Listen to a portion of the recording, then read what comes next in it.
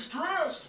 Only somebody with holes drilled in their head would wear that stuff. And how about the shape?